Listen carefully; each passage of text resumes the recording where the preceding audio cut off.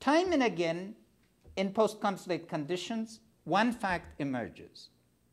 Whether it's the Balkans, whether it's Cambodia, whether it's now Afghanistan or others criminalization of the economy. The international community has been completely helpless in preventing criminalization of the economy. And that is where the other set of interests comes.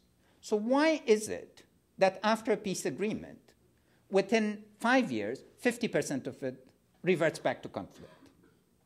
And part of it is that interests in insecurity, in instability, get to be greater than interest in stability. And that the political process that needs to become inclusive and produce national agreement actually does not take place.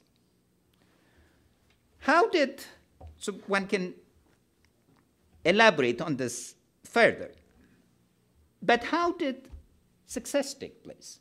Instead of failures, how do we look at success? First, look at Singapore. Singapore of 1950s, Gunnar Myrdal argued was going to explode. It exploded into growth.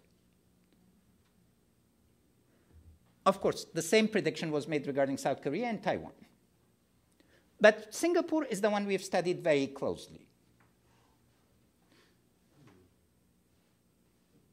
First part is collective leadership.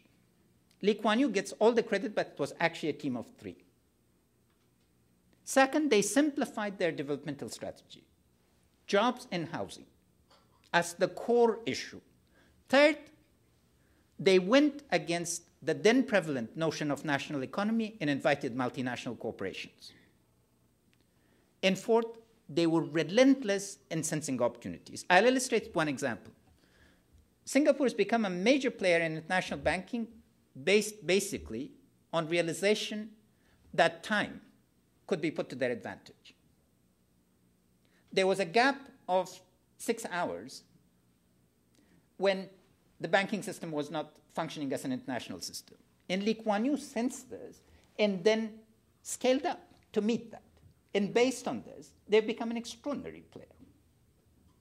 Spain, where again we had the privilege of talking to the six key ministers who were responsible for the transformation of Spain after 1975.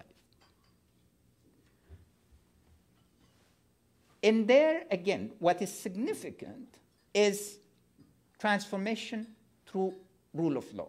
Every aspect of transformation was done through an extraordinary set of legal agreements. But second was also seizing the opportunity to join Europe and accept European standards of governance. Their most difficult challenge was how to dismantle a protectionist system and create the revenue bases.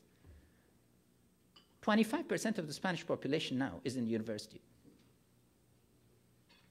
And of course, they have above average European standards. But at the core of it, like Singapore, was a very simple mechanism creation of a domestic construction industry.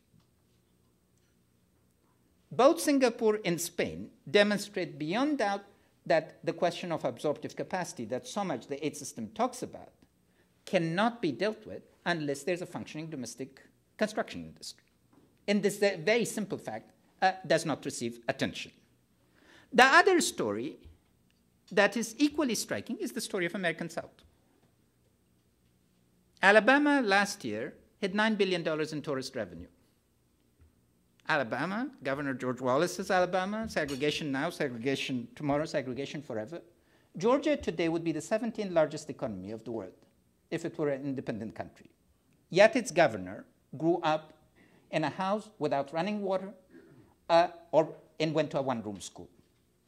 And here again, investment in human capability and infrastructure and a relentless pursuit of, of change is imperative. Southern states of the United States now have 90, 91% of the, of the income of northern states, but the purchasing power is greater. So there are major lessons again uh, there.